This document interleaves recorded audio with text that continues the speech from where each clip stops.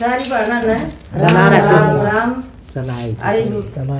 एक बुढ़िया का कुर्ता पट गया और बड़ा बेटा दौड़ बू दौड़ दाम के जवाब दे बुढ़ी ने सारी बात सुनी